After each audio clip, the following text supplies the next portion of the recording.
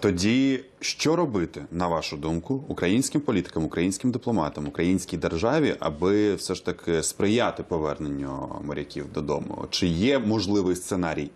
Чи правильним є наполягання виключно на статусі військовополонених? Ми чули, що немає альтернативи. Ірина Луценка про це говорить. Хоча І говорить вона, Знаєте, що обміну, думки, наприклад, так. не буде. А пан. Марчук каже, що запропонували ми обмін. Ну тобто достатньо незрозуміла ситуація. А, я думаю, что сотрясать воздух можно, конечно. В плане говорить о том, что освободи их, освободи, освободи их, освободи. Ну, от этого освобождения не будет.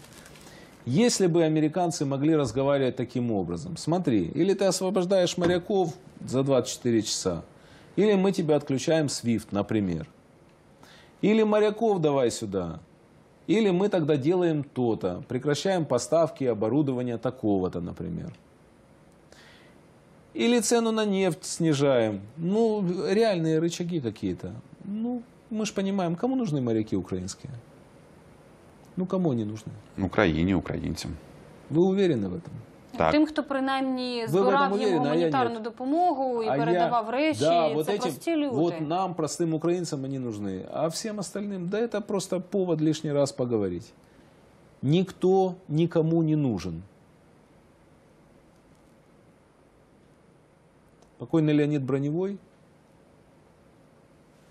с которым мы дружили, которого от смерти здесь, в Киеве, спас выдающийся наш кардиохирург Борис Тадуров. Мало кто знает, что Леонид Сергеевич Броневой, народный артист Советского Союза, сыгравший Мюллера в «17 мгновениях весны» и в «Покровских воротах» Велюрова и так далее, и так далее. Легендарный артист. А Когда от него отказались в Москве врачи, он здесь два раза по несколько месяцев лежал у Бориса Тадурова в Институте сердца. И Борис Тадуров, и команда Института сердца абсолютно бесплатно его лечили и вылечили, поставили на ноги. А, мудрейший человек был. Мы сделали с ним два потрясающих интервью. Потрясающих. Меня потряса... потрясших как человека. Всем рекомендую, тем, кто нас слышит, а, посмотрите в Ютубе два интервью моих с Леонидом Броневым. Там вся жизнь рассказана. Вообще жизнь целого поколения, поколений. Он мне рассказывал о том, что когда поставил Марк Захаров в театре Ленком спектакль «Вишневый сад», он был а, прочтен по-новому. А, Броневой играл Фирса, которого забыли. И на спектакль пришел Гаврил Попов, бывший мэр Москвы.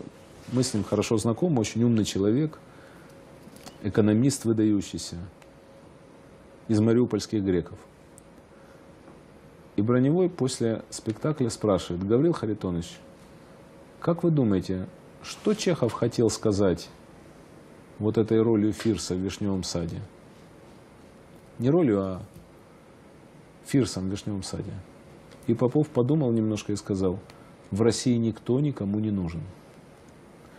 А, говоря сейчас э, Россия, я хочу сказать, на нашем пространстве никто никому не нужен. И о моряках, если вы думаете, что кто-то думает, кроме их родственников и нескольких десятков людей, которым это действительно вот не безразлично, то вы ошибаетесь. Никто никому по-прежнему не нужен.